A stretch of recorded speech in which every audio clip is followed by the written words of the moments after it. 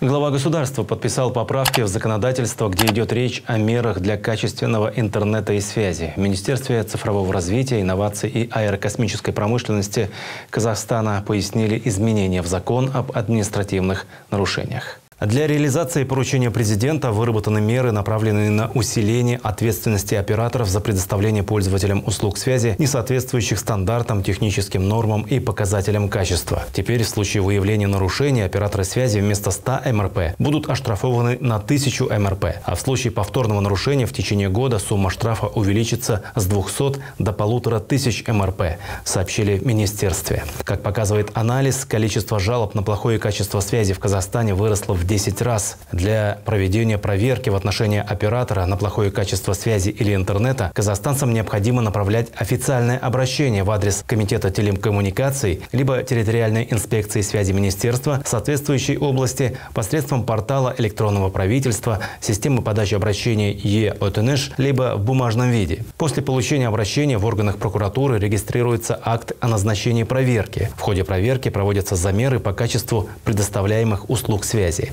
пояснили в министерстве.